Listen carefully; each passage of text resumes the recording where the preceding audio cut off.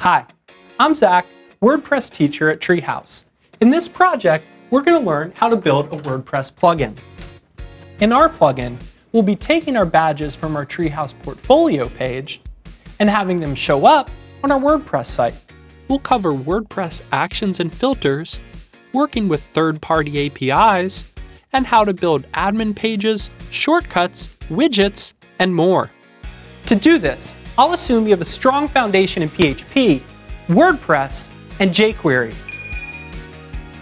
So, if you're a WordPress theme developer looking to take your skills to the next level, or a programmer who wants to learn how to add additional functionality to a WordPress site, then our WordPress plugin project is for you.